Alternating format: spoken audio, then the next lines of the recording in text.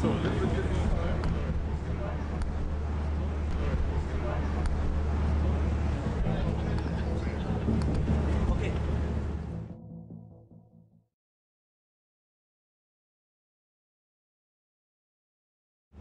it's depending a bit which part of the Finland where, where I am, but if I go to, let's say, the shopping center next to my home, uh, there are people who might recognize me and they might uh, they might say, "Hi, there's Jari-Matti. Hi, how you doing?" And sometimes even they come ask, uh, "Can we can we take a photo? Can you give us a signature for our children?"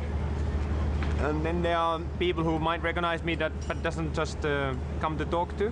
But um, generally, uh, I mean, Finnish um, people are. We say we are a bit quiet, but uh, if people recognize you, then quite easily still they come have a couple of words.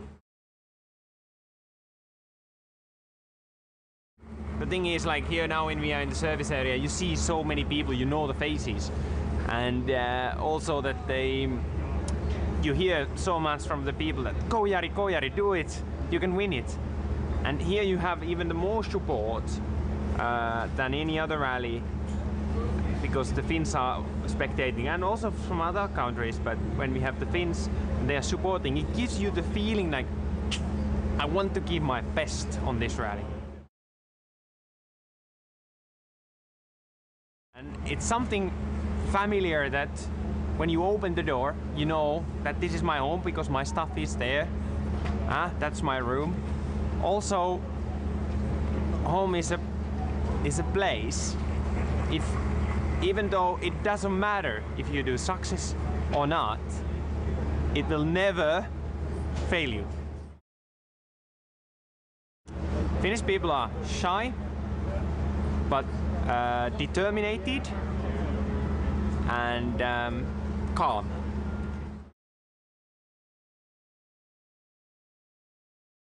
It starts from the 60s. We had some really good drivers on the 60s and uh, when the rally really started to, to grow.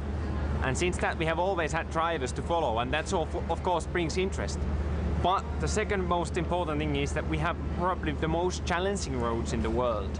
When you have to go really fast, 130 kilometers average speed over the over the jumps, the corners in the forest, and uh, to be able to drive this road, you really need to pick up your blinds, think about the braking points, and when you learn these, it's always easier to drive slower, and that's why I think we are producing good drivers.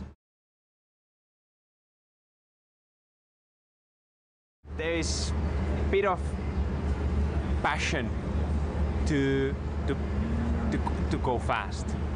We have we are we are very limited with we have very strict speed limits in this country, and I think this makes people even more hungry to drive fast. Finnish people are quite organized, I would say. German team is German people are really organized as well, and uh, they are very uh, environment careful. Also, the same aspect is in Finland. Uh, also, the buildings, uh, building a structure is similar thinking as, as in Finland. I can say there's many similar aspects in, in Finland and in Germany. I think it's, if you think about Finland, you would, you would go to live somewhere. I think in Europe, Germany would be the closest place after Sweden, uh, where you could uh, see similar things compared to Finland. Uh, so I think it's, it's a, it works really well, the Finnish driver in, it, in the German team.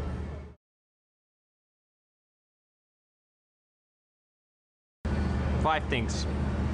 Drive fast, stay relaxed, enjoy the commitment of the team and uh, confidence with the car.